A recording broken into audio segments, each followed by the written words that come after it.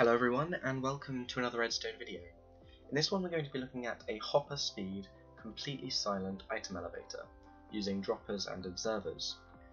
Now as you can see it does use a lot of observers, which does mean it's quite expensive, but the advantage it has over the previous design using redstone torches is that you don't need to slow down your hoppers at all, which means you don't get uh, your system backing up at all, which is really really helpful.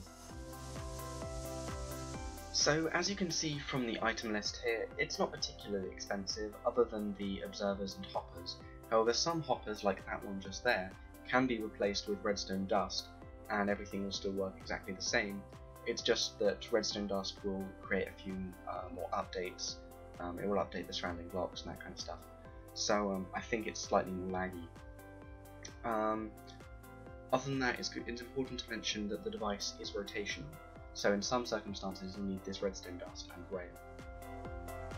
But other than that, that is everything I've got for you today. Thank you very much for watching, and I will see you all next time.